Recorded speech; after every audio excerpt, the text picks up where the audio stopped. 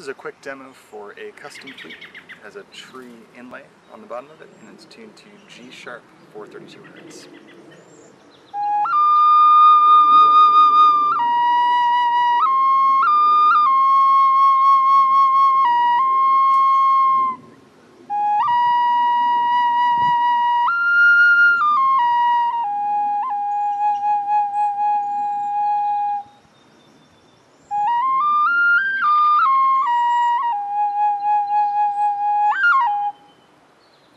Stable?